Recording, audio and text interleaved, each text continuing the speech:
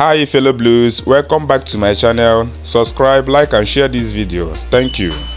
Enzo Maresca will be desperate to get off to the best possible start as Chelsea head coach, but he could not face a more difficult challenge in his first match. This video shows Chelsea dream lineup against Man City in the Premier League featuring Michael Olise. The Blues have both Robert Sanchez and Djordje Petrovic to choose from. There is every chance Chelsea could see the Spaniard start against Manchester City. After picking up his second red card of the season versus Brighton, Captain Reece James will be suspended for the trip of City. Instead, Malo Gusto is likely to take the right back place in defense. Chelsea will be hoping Wesley Fofana can get some much needed minutes in his name in preseason. The 23-year-old centre-back missed the entirety of the last campaign due to injury. If Fofana starts, he could partner Levi Colwill at the heart of Chelsea defense when they lock horns with Pep Guardiola's City.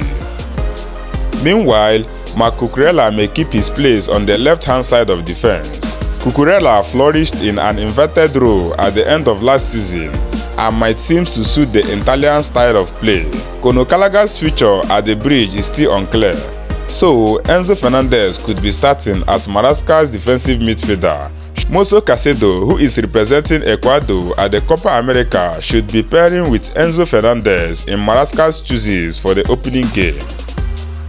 Michael Olise is the name on every Chelsea supporter's lips at the moment, with the club in talks with Crystal Palace over a move for the 22-year-old as their right winger.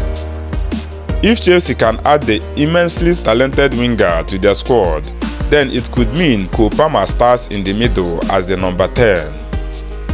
Christopher Nkunku has been used before as left winger, and that might be the route Maresca goes down if the Frenchman is fit and available.